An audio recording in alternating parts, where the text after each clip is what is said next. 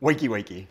If Wakey Wakey got to choose our honorary badass uncle, this guy would be top of the list. Robert Young Pelton, or RYP by his pen name.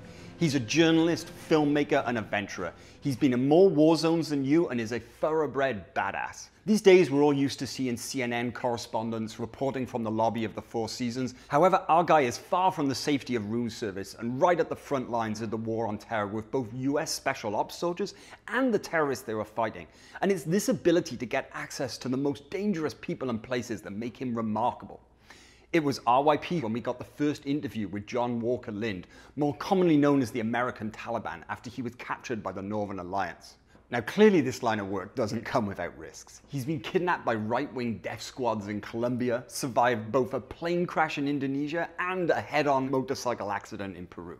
Thankfully, for those of us looking to experience this adventure from a safer distance, he's got a sizable body of work. Start with watching a few episodes of his travel channel show, The World's Most Dangerous Places, which is also the name of his flagship book. Now in its fifth edition, is somewhere between a how-to guide for surviving a war zone and a lonely planet for the truly insane. It's also worth checking out his biography, The Adventurist, and my personal favorite, a book, Three Worlds Gone Mad, which I won't spoil, but truly features some insane stuff.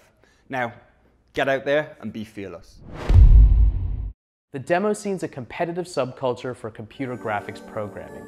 Groups of coders, musicians, and graphicians, that's a real word, work together to create demos, short for demonstrations, which are kind of like computer generated music videos.